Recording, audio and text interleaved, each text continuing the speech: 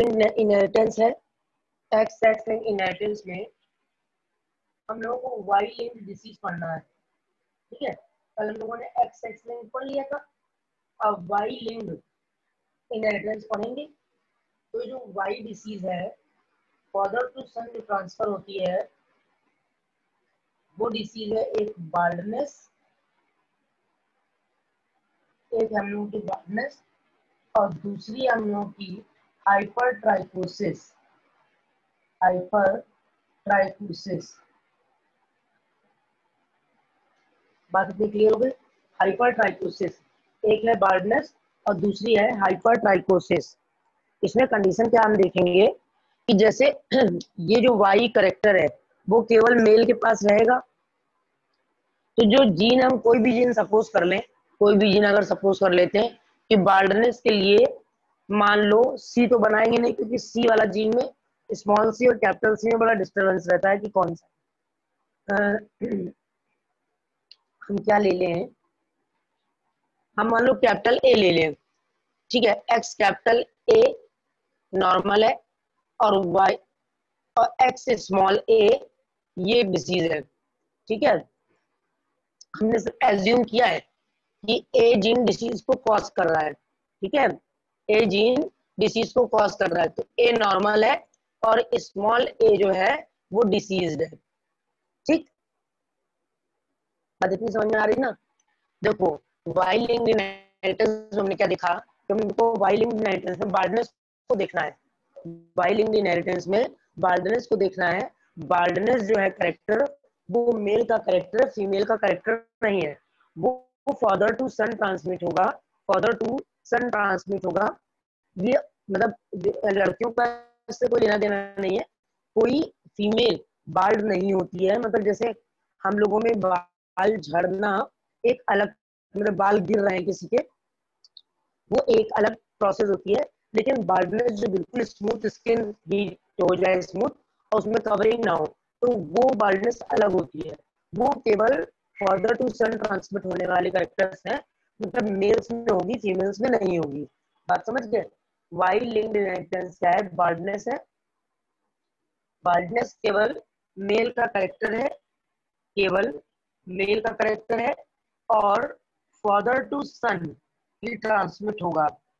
Father to son transmit होगा, इसमें daughter involve नहीं होगी। बात इतनी समझ में आ रही है? बात इतनी समझ है उसके बाद आती है हाइपर ट्राइकोसिस तो हाइपर ट्राइकोसिस में बेटा हाइपर ट्राइकोसिस होता है ईयर पिन्ना पे हेयर ईयर पिन्ना पे हेयर बात समझ गए? ईयर पिन्ना पे हेयर ये बात क्लियर हो गई यानी ईयर पिन्ना जो एक्सटर्नल ईयर है, उस एक्सटर्नल ईयर में हेयर प्रेजेंट होंगे। मतलब किसी के थोड़े थोड़े होंगे, किसी के बंच में होते हैं इकट्ठा तो जो ये करेक्टर है, ये करेक्टर भी फादर टू सन ट्रांसमिट होगा। फादर टू सन ट्रांसमिट होगा इसमें फीमेल इन्वॉल्व नहीं है। जीन जो कैरी होगा, वो वाई में कैरी होगा, जो जीन होगा, वो वाई में कैरी होगा और फादर टू सन ट्रांसमिट होगा। इसमें सन इफेक्टेड होंगे। डॉटर में कोई प्रोसेस नहीं आएगी। बाल गिरना, बाल का गिर जाना या किसी कीमोथेरेपी की वजह से बालों का चले जाना। वो एक another character that is not a baldness जैसे हम लोगों का जो बींग बर्थ है जैसे अभी इसमें एक्टर एक्टर्स में देखते हैं हम लोग अमरीश पुरी ये अनुपम खेर और ये विशाल जो सिंगर है तो उनका जो एक बार्डनेस है, वो अलग टाइप की बाल्डनेस है। पूरी बार मतलब पूरे डर्मल फॉलिकल्स बंद हो चुके हैं, वहाँ हेयर डेवलप ही नहीं करेगी। वहाँ डर्मल फॉलिकल्स बंद है वहाँ का वहाँ से हेयर का डेवलपमेंट नहीं हो रहा है। बात इतनी क्लियर हो गई? बात सबको इतनी समझ में आ गई कि नहीं आई yes, Aasna Bhanu Suhani.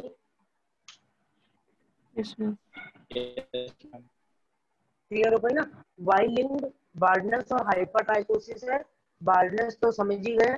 Loss of hair मतलब hair absence absence of hair कह ठीक है? हाइपरटाइकोसिस क्या है? ईयर पिन्ना पे हेयर ऑन ईयर पिन्ना ये जितनी भी डिसीज है वो फॉदर टू सन ट्रांसमिट होंगे। जितनी भी डिसीज है वो फॉदर टू सन ट्रांसमिट होंगी। इतनी बात क्लियर हुई? इतनी बात सबको क्लियर हुई? उसके बाद देखो अब आती है हम लोग एक्स वाई लिंक्ड डिसीज तो एक्स वाई लिंक्ड डिसीज जो है वो एक ही डिसीज है जिसका नेम है xeroderma pigmentosum xeroderma pigmentosum बात इतनी क्लियर हो गई।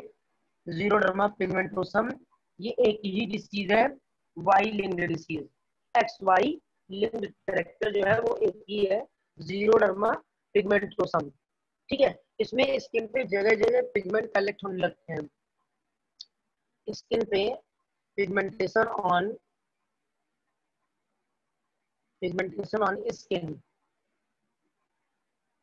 on skin मतलब इरेगुलर पैचेस बनने लगते हैं स्किन पे इरेगुलर पैचेस बनने लगते हैं कि स्पॉटेड टाइप की बॉडी जाती है व्हाइट स्पॉट और ये डिफरेंट टाइप के स्पॉट को छोड़ देना। यहाँ पर सिर्फ़ ज़ीरो पिगमेंटेशन जो है, इसमें डिफरेंट टाइप के पिगमेंट फॉर्मेशन होने लगता है। अलग अलग अलग अलग टाइप के पिगमेंट यहाँ बन जाते हैं। ये हाइपरट्राइकोसिस है यानी ईयर पिन्ना पे हेयर होना। हमने क्या देखा? वाइलिंग बार्डनेस और हाइपरट्राइकोसिस में फर्दर ट्रांसमिट हो रही है। हाइपरट्राइकोसिस ईयर पिन्ना पे हेयर और ज़ीरो डर्मा पिगमेंटोसम यानी pigmentation on body extra pigmentation अगर बॉडी में प्रेजेंट होते हैं तो उसको ज़ीरो डर्मा पिगमेंटोसन के नेम से जानते हैं इसमें। कैंटोइड पैचेस मतलब कैंकेरियस पैचेस बॉडी में जगह जगह जगह जगह पैचेस का फॉर्मेशन हो जाता है। जगह जगह यहाँ पैचेस का फॉर्मेशन हो जाता है, ये ज़ीरो डर्मा पिगमेंटोसन है। इतनी बात में किसी को कोई प्रॉब्लम हो तो बताओ। मैम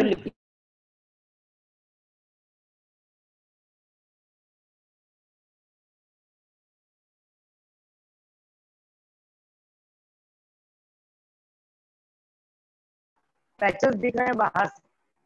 जब एक्स्ट्रॉर्डनरी आपको पिगमेंटेशन हो रहा है तो इसमें क्या होगा? जगह जगह जगह जगह पैच आपके चरकते टाइप के पड़ने लगेंगे। यानी बॉडी में जगह जगह स्पॉट हो जाएँगे।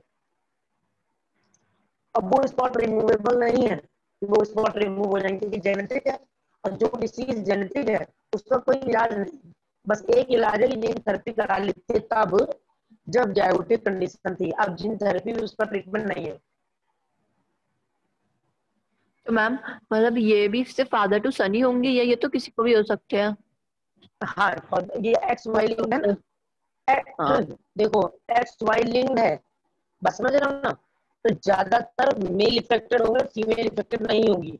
यदि दोनों पे जीन है तब तो डिसीज है। दोनों में से एक में है तो डिसीज नहीं है। और जब हम कह रहे हैं एक्स वाई लिंक है तो दोनों में जीनों जीन का होना ज़रूरी है कभी सिंगल में जीन होगा ही नहीं। अगर सिंगल में जीन हो गया तो या तो ये एक्स सेक्स लिंक हो जाएगा या तो वाई सेक्स लिंक हो जाएगा। इसमें दोनों में होना चाहिए तो फादर टू सन ही ट्रांसमिट होगा। इसमें फीमेल का इन्वॉल्वेशन नहीं है। ये जितनी भी डिसीज है ये सब फादर टू सन है। ओके बस समझ रहे हो? हाँ समझ मानो कुछ बोलने जा रहे हो स्वानी कुछ बोल रहे थे आप लोग। नहीं नहीं मैं बस यही पूछ रही थी। भानु क्लियर हो गया? आसना क्लियर हो गई बात? Yes ma'am Yes, ma'am. कोई प्रॉब्लम मतलब हम अगर कोई करेक्टर का लिंक देख रहे हैं तो हमको करेक्टर के लिंक में देखना है कि एक्स वाई लिंक है तो कहाँ जाना है? वाई लिंक है तो कहाँ जाना है? एक्स वाई लिंक है तो कहाँ होगी डिसीज इतनी बात में कोई प्रॉब्लम है. कोई प्रॉब्लम अब देखिए अब हम लोग आगे बढ़ रहे हैं। आगे हम लोग बढ़ के कहाँ जाएँगे?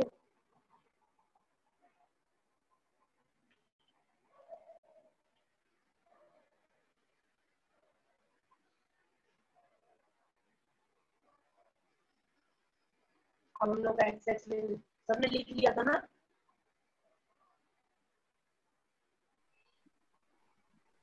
हाँ मैम नहीं। मैम मैंने ले लिया स्क्रीनशॉट ले लिया भेज देना ठीक है? सब नोट कर लेना नोट नहीं किया तो मैं बता दिया करूँ। अब जरा देखो। अब हम देखेंगे एक टॉपिक जिसका नेम है मल्टीपल एलीज मल्टीपल एलीज बात समझ गया? मल्टीपल अब हम जो टॉपिक देख रहे हैं उसका नेम है मल्टीपल एलिमेंट्स मल्टीपल का मतलब पता करेक्टर यानी इसका मतलब है वन करेक्टर मैम आपकी वॉइस नहीं आ रही ma'am. One character regulated by बहुत कम आ रही है। बहुत कम आ रही है। अब आ रही है। वन करेक्टर जब रेगुलेटेड बाय जब बोर्ड की तरफ़ जाते हैं तो आवाज़ नहीं आती है। One character regulated by more than अब आ रही है? यस मैम अब बताना शुरू होती है कि नहीं? One character regulated by regulated by सुनाई दे रहा है ना? Regulated by more than more than two genes one character regulated by more than two than two genes. बात इतनी क्लियर हो गई? मतलब एक करेक्टर को मोर देन टू जीन्स के थ्रू रेगुलेट किया जाता है। This type of character is known as कौन सा करेक्टर है? मल्टीपल एलियंस बात समझ गए?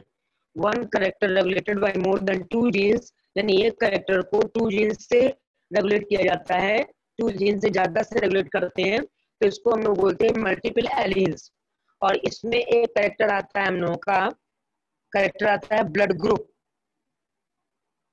Blood group. बात समझ गए? Blood group. ब्लड ग्रुप अपने आप में एक करेक्टर है, लेकिन इसको रेगुलेट करने के लिए मोर देन टू जीन्स हैं ए बी एंड ओ ये जीन्स हैं। ए बी एंड ओ ये जीन्स हैं, जिसमें बी डोमिनेंट जीन है बी हम लोगों का डोमिनेंट जीन है ओ हम लोगों का रेसेसिव जीन है। बी डोमिनेंट है और ओ रेसेसिव जीन है। बात क्लियर हो रही है? One character regulated by more than two genes तो यहाँ पर क्या बताया गया कि एक करेक्टर को दो से ज़्यादा जीन कंट्रोल कर रहे हैं एक करेक्टर को। करेक्टर एक है ब्लड ग्रुप ब्लड ग्रुप में कितने भी टाइप हो। करेक्टर तो एक ही है ना? ब्लड ग्रुप एक करेक्टर को रेगुलेट करने के लिए more than two genes involve हो रहे हैं, एक करेक्टर को रेगुलेट करने के लिए। तो this character is known as multiple alleles इस करेक्टर को हम लोग क्या बोलते हैं? Multiple alleles A B O इसमें बी डोमिनेंट है और ओ रेसेसिव है। बी डोमिनेंट है और ओ रेसेसिव है। कितनी बात क्लियर हो गई? B dominant and O recessive ज़्यादातर लोगों का अगर हम ब्लड ग्रुप चेक करेंगे तो उसमें बी पॉजिटिव हम लोगों का, बहुत लोगों का ब्लड ग्रुप आएगा। ओ ए बी ए बहुत मतलब ए तो आता है, लेकिन इतना जल्दी देखने को नहीं मिलता। है ज़्यादातर लोगों से आप पूछोगे तो बी पॉजिटिव ब्लड ग्रुप होता है लोगों का। ज़्यादा से ज़्यादा जो ब्लड ग्रुप होगा, वो बी पॉजिटिव होता है। A B positive A positive ये देखने को मिलता है, लेकिन इतना एबंडेंट क्वांटिटी में देखने को नहीं मिलता है, जितना कि हमारा बी पॉजिटिव देखने को मिलता है। बात इतनी क्लियर हो रही, नहीं हो रही है? समझ में नहीं आया कि मैम जैसे मोर देन टू जीन कैसे मैम रेगुलेट करेंगे किसी कैरेक्टर को? मैम कोई एग्जांपल देखो हाँ देखो जैसे मान लो हमारा हम कह रहे हैं one character regulated by more than two genes ठीक है? तो करेक्टर और ट्रेड्स तो पता ही है ना कि करेक्टर क्या होगा ट्रेड क्या होगा। तो करेक्टर हमने क्या लिया है? एक करेक्टर है हमारा ब्लड ग्रुप एक करेक्टर है हमारा ब्लड ग्रुप यही तो करेक्टर है। भानु यही करेक्टर है ब्लड ग्रुप अब ये बताओ जब ये ब्लड ग्रुप एक करेक्टर है तो उसको ब्लड ग्रुप है कितने टाइप के? फोर टाइप के है ना। A B A B and O four type के ब्लड ग्रुप है फोर टाइप के ब्लड ग्रुप है ना। अब इन ब्लड ग्रुप को रेगुलेट करने के लिए ए बी और ओ ये तीनों जीन एक ही काम तो कर रहे हैं। ब्लड ग्रुप को रेगुलेट करना। ये जो तीनों जीन्स हैं, वो एक ही काम तो कर रहे हैं ब्लड ग्रुप को रेगुलेट करना। बात समझ रहे हैं कि नहीं समझ रहे हैं? जब हम देखते हैं कि जो जीन्स हैं, वो तीन जीन है, लेकिन काम करें चाहे ए हो, तब भी वो ब्लड ग्रुप को रेगुलेट कर रही है। बी हो, तब भी वो ब्लड ग्रुप को रेगुलेट कर रही है। ओ है भी वो को रेगुलेट कर रही है और ए के साथ ओ लगा है बी के साथ ओ लगाएँगे। लगाते कि नहीं? क्योंकि ओ रेसेसिव है। अब ये तीनों अपने आप में अलग अलग ब्लड ग्रुप को करो कंट्रोल करें। अलग अलग ब्लड ग्रुप को कंट्रोल करें। वो एक अनदर बात है। लेकिन कर तो एक ही काम रहे कंट्रोलिंग ऑफ़ ब्लड ग्रुप कर तो एक ही काम ना रहे, हैं। कंट्रोलिंग ऑफ़ ब्लड ग्रुप बात क्लियर हो रही नहीं हो रही है? हो रही है ना? हमने क्या बोला? One character regulated by more than two genes तो ब्लड ग्रुप अपने आप में करेक्टर है जो कि रेगुलेट कर रहा है ए बी ओ तीन जीन्स के थ्रू ये रेगुलेट हो रहा है। जिसमें बी डोमिनेंट है और ओ रेसिसिव है। यानी ज़्यादातर लोगों के पास बी प्रेजेंट होगा ओ नहीं प्रेजेंट होगा। ज़्यादातर लोगों के पास क्या होगा? बी क्या चीज़? ए ए तो कॉमन है ए कॉमन ब्लड ग्रुप है। ये जो है वो कॉमन ब्लड ग्रुप है। मतलब जैसे मान लीजिए सौ लोग बैठे हैं तो फिफ्टी फिफ्टी परसेंट का रेशियो भी हो सकता है सेवेंटी फाइव ट्वेंटी का भी रेशियो हो सकता है ट्वेंटी फाइव थर्टी फाइव का भी रेशियो हो सकता है। तो ये ए हम लोगों का कॉमन कैरेक्टर है। लेकिन जो बी है वो ज़्यादातर ब्लड ग्रुप देखने को मिलता है। मतलब अगर आप दस बारह लोग बैठे हैं, उनमें से नौ लोगों का हो सकता है कभी कभी इत्तेफाक से भी पॉजिटिव हो। एक का ए बी हो एक का ए हो बात इतनी क्लियर हो रही है बात इतनी क्लियर हो रही है बेटा मैम बात समझ में आई नहीं आई हम क्या कह रहे हैं कोई और अनदर एग्जांपल कोई मैम हाँ इसका एक अनदर एग्जांपल है स्किन कलर स्किन कलर जो एगोटी वाला बताया है एगोटी। यस आप लोगों का एगोटी और ग्रे कलर बताया था? वो भी मल्टीपल एलिक करेक्टर है। अगर हम किसी एक करेक्टर को एक से ज़्यादा जीन्स के थ्रू कंट्रोल कर लें तो मल्टीपल है अब ये बात और देखना कि अगर हम अभी हम आगे बताएँगे इसमें ए बी और ओ जीन है, हम कोई भी सिंबल ले लें अल्फ़ा एल आई कोई भी ले लें तो जब इनका जीनोटाइप लिखेंगे तो क्योंकि जो ए है, वो नॉर्मल है तो हम क्या लिखेंगे इसको? Alpha A alpha A, blood group होगा ए। अल्फ़ा ए, अल्फ़ा ओ। तो ये हो जाएगा होमोजाइगस होमोजाइगस हो गया? और ब्लड ग्रुप कैसा होगा? ए। ये हो जाएगा हेट्रोजाइगस ये हो जाएगा हेट्रोजाइगस अब ब्लड ग्रुप कैसा होगा? ए। बात इतनी क्लियर हुई? फिर अल्फ़ा बी अल्फ़ा बी। ये कैसा हो जाएगा? होमोजाइगस। होमोजाइगस हो जाएगा? ब्लड ग्रुप हो जाएगा बी और अल्फ़ा बी अल्फ़ा ओ हो जाएगा क्या? Heterozygous. Heterozygous blood group B बस समझ गया? Yes alpha O alpha O इसका होमोजाइगस ही होगा। इसका कोई हेट्रोजाइगस नहीं है। इसका कोई हेट्रोजाइगस नहीं है। बात इतनी क्लियर हुई? बात समझ पा रहे हैं सब? सब लोग मेरी बात समझ पा रहे हैं ना? हमने क्या बोला है कि जब ये one character regulated by more than two genes हैं तो blood group A B A B and O है। जीन्स कितने हैं? तीन जीन्स रेगुलेटेड हैं ए बी और ओ तीन जीन्स रेगुलेटेड हैं। बी डोमिनेंट है ओ रेसेसिव है, हम सारे का जीनोटाइप लेंगे तो हम लोग कहते हैं जीनोटाइप और फिनोटाइप हम लोगों ने ये टर्म यूज़ किया है। तो जीनोटाइप का मतलब होता है अकॉर्डिंग टू जीन्स और फिनोटाइप का मतलब होता है अकॉर्डिंग टू एक्सटर्नल फीचर्स इसमें एक्सटर्नल फीचर तो कुछ है नहीं। एक्सटर्नल फीचर कुछ है? अगर आप मेरा ब्लड ग्रुप पूछते हैं तो ब्लड ग्रुप हमको देख के ही ना बताना पड़ेगा। और ब्लड ग्रुप देख के बता रहे मतलब हमको जीनोटाइप पता है। हम बाहर से तो देख नहीं पता हम खड़े हैं आपने कह दिया मेरा ब्लड ग्रुप भी पॉजिटिव हो सकता है। ऐसा तो है नहीं। एक्सटर्नल इसका अपीयरेंस कुछ है ही नहीं। इसका कोई एक्सटर्नल एक्सटर्नल अपीयरेंस है। जैसे मान लीजिए आप ब्लड ग्रुप चेक कराने आए हैं तो हम आपसे कह दिया अच्छा आप आए हैं। आपका ब्लड ग्रुप भी पॉजिटिव है। ऐसा तो करेंगे नहीं। कर सकते हैं हम लोग। नो सुहानी आस Suhani Aasna no? Ma'am ma'am जैसे मान लो हमारे पास कोई ब्लड ग्रुप चेक कराने आया है सपोज़ दैट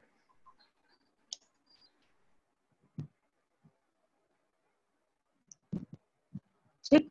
तो उस ब्लड ग्रुप के चेकिंग टाइम पे हम क्या करेंगे? हमको ये पता हो, है ना, कि ब्लड ग्रुप हमारा ये है तो हमको तो उसका जीनोटाइप देखना ना पड़ेगा। हम जीनोटाइप देखेंगे, तब पता चलेगा। ब्लड ग्रुप टेस्ट करेंगे तो एक्सटर्नल कुछ है ही नहीं। तो ये इसके जीनोटाइप है। ठीक? एक बात ये देखो कि अगर इसकी और इसकी मैरिज हो जाती है इसकी और इसकी मैरिज होती है तो ए के पास ए और बी दोनों आएगा ना? ए के पास ए और बी दोनों जीन्स आएँगे? आएँगे नहीं आएँगे? यस मैम आएँगे।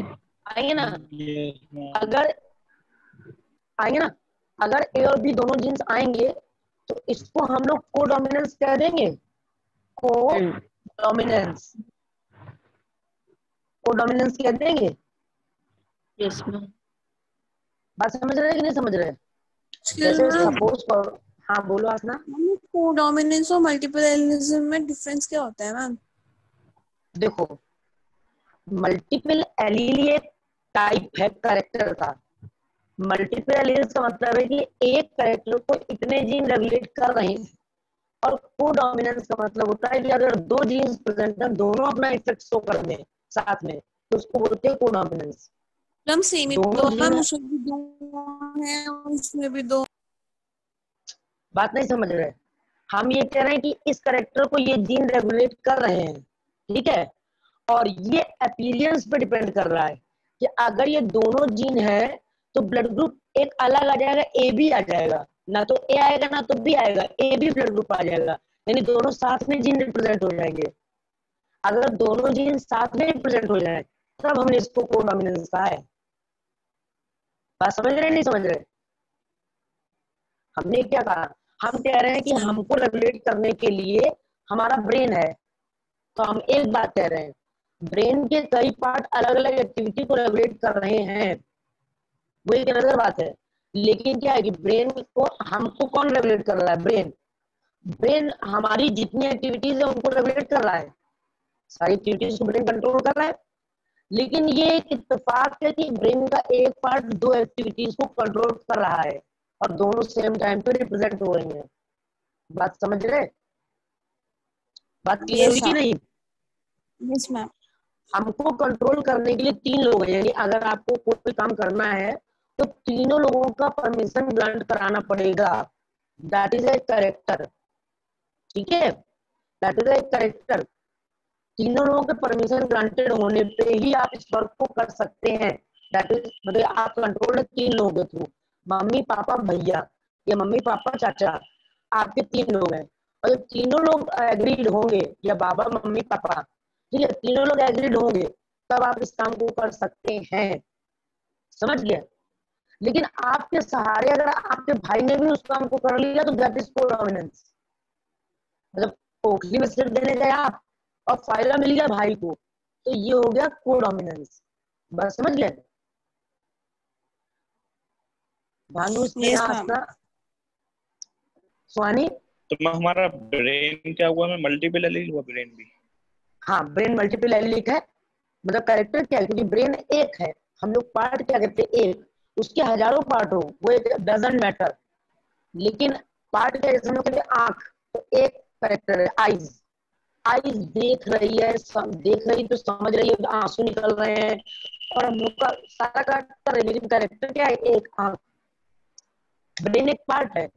उसके पास थर्स्ट सेंटर है थिंक सेंटर है हंग्री सेंटर है डांस सेफ्लॉन है प्रोजन सेफ्लॉन है मीजन सेफ्लॉन है. हर पार्ट सोचना समझना थिंकिंग किसका क्या विचार करना है ड्रीम्स ये सब हमारे अलग अलग करेक्टर्स के थ्रू कंट्रोल है अलग अलग पार्ट्स के थ्रू लेकिन ये पार्ट भी किसके हैं? ब्रेन तो कंट्रोलिंग पावर किसके पास है? एक के पास वो है ब्रेन समझ गए तो ब्रेन कई करेक्टर को कंट्रोल कर रहा है तो ब्रेन मल्टीपल एलिलिक हो गया कि नहीं हो गया? हुआ कि नहीं हुआ? यस मैम यस हो गया। हमारा एक करेक्टर है। क्या मैम आप कहिए पहले देखो कंडीशन क्या है? अब यहाँ पे क्या कंडीशन है? हमने देखा इसका कि ए बी और ओ तीन जीन्स हैं जो तीन जीन्स हमारे इस कैरेक्टर को रेगुलेट कर रहे हैं। तो वो तीन जीन्स में ए तो एज यूजुअल है मतलब फिफ्टी फिफ्टी परसेंट प्रेजेंट हो सकता है। लेकिन ज़्यादातर रेसेस में बी देखते हैं। तो हमने बी को डोमिनेंट कहा है क्योंकि ज़्यादातर लोगों के पास बी पॉजिटिव है। तो बी डोमिनेंट जैसे आप लोग सब, लोग बैठे हैं तो बहुत कम लोग कहेंगे मेरा ए बी पॉजिटिव है। बहुत कम लोग होंगे जो इस तरफ़ इंडिकेट करेंगे कि मेरा ए बी पॉजिटिव है। ये कह देंगे हाँ मेरा B positive A positive A B positive बहुत कम लोग कहेंगे। तो बी जो डोमिनेंट है सबसे ज़्यादा डोमिनेंट ब्लड ग्रुप माना गया बी और ओ कैसा हो गया? ओ हो गया रेसेसिव ओ हो गया रेसेसिव बी हो गया डोमिनेंट और ओ हो गया रेसेसिव जब हम इसकी पूरी कंडीशन लेंगे होमोजाइगस वाली कंडीशन लेंगे तो A A homozygous A O heterozygous B B homo और बी ओ हेट्रो बात इतनी क्लियर हो गई? बात इतनी क्लियर हो गई? फिर ओ ओ होमोजाइगस कंडीशन है। ओ ओ होमोजाइगस कंडीशन है। बात इतनी क्लियर हो गई? अब जब हम इसका क्रॉस कराएँगे, इसका क्रॉस कराएँगे तो हम क्रॉस में देखेंगे हम इसमें सेक्स से डिटरमाइन नहीं करेंगे कि सेक्स से रिलेटेड हमारे कितने प्रॉब्लम्स आएँगी। हम लोग सेक्स से डिटरमाइन नहीं करेंगे कि ये लड़की होगी कि ये लड़का होगा क्योंकि ऑटोसोमल है। है मतलब ब्लड ग्रुप है तो उसमें लिंक का क्रोमोसोम पे जीन है नहीं। क्रोमोसोम पे जीन नहीं ऑटोसोम पे जीन्स है। बात इतनी क्लियर हुई कि नहीं? Yes, ma'am.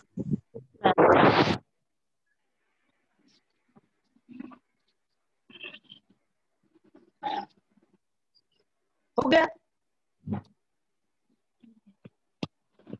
Yes,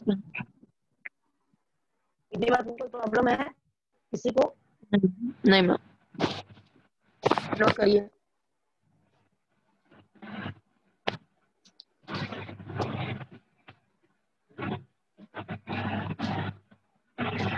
बात सारे बात सारी क्लियर हो गई है ना? बातें सारी क्लियर हो गई ना कि हम कैसे क्या कर रहे हैं?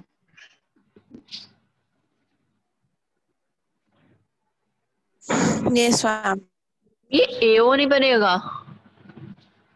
क्या ए नहीं नहीं कुछ नहीं नहीं मैम कुछ बना तो है ए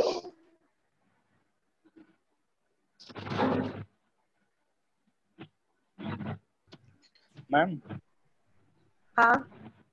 हम कोडोमिनेंस उसको बोल सकते हैं कि अगर हमारी जैसे आँख देखने का काम करती है। हाँ हाँ। तो मैम आँख खाने लग, खाने लगे तो मैम उसको कोडोमिनेंस बोल सकते हैं हम? क्या करने लगे? खाने लगे हाँ, जैसे एग्जांपल ले लीजिए।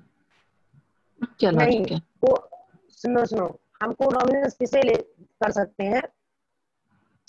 कोडोमिनेंस हमारा कौन सा करेक्टर है? हमारे हाथ। सिर्फ़ वर्किंग के लिए लिखने के लिए खाने के लिए एडिशनल चलने के लिए नहीं है। एक बार के लिए मान लीजिए। लेकिन अगर कोई पैरालाइज्ड पर्सन है और उसका एक पैर डिफेक्टिव है तो वो क्या करेगा? हाथ का सहारा लेके चलेगा। दैट इज़ कोडोमिनेंस वो खा भी रहा है और चलने के लिए भी हाथों का इस्तेमाल करेगा। ये हो गया कोडोमिनेंस ओके मैम बस समझ कोडोमिनेंस का मतलब होता है कि हम कोई एक ऑर्गन के थ्रू कोई दो करेक्टर को रेगुलेट कर दें। तो दैट इज़ मैम वही तो मैं कह रहा हूँ मैं वही तो मैं कह रहा हूँ कि जैसे हमारी आँख देखने का काम करती है। अगर वो खाने हाँ। भी लगे तो मैम उसको कोडोमिनेंस बोलेंगे फिर तो हम। हाँ हाँ तब कोडोमिनेंस बोलेंगे। अगर देखने का काम करते खाने लगे लेकिन मतलब हमने इसलिए इस बात को मतलब पहली बात तो खाना वाली बात हम सुन नहीं पाए थे।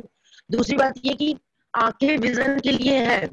विजन के लिए परफेक्ट है। और उसमें विजन पावर है। तो जिस टाइम हम इनटेक ऑफ़ फ़ूड करेंगे उस समय विजन में प्रॉब्लम आएगी। लेकिन अगर हमको चलना है और खाना है तो हम चल और खा एक साथ सकते हैं। चलते चलते सॉफ्टी खाई है? रोड यस पर रोड पे चलते हुए मोमोज खाया है? तो चलते हुए हम लोग मोमोज और सॉफ्टी खा सकते हैं। समझ गए? तो हम चलते हुए दो काम हम्म। बट मैम तो यहाँ हम हाथ से थोड़ी चल रहे हैं। तो यहाँ पे कोड डोमेन्स कैसे हुआ? ये तो सब अपना अपना काम कर रहे हैं पैर अपना और हाथ अपना। हमने क्या कहा है? जब हम चलते वक्त खा रहे हैं पैरालिस पैरालिसिस की कंडीशन पे। अच्छा तभी ना वो हाथ का काम करेगा। जब पैरालिसिस हो गई है उस समय वरना हाथ का काम तो हाथ ही ना करेगा। आप बैठे हो तो खाओगे हाथ से ही। हाथ का काम खाना है तो सबसे पहले आप अगर राइट हैंडेड है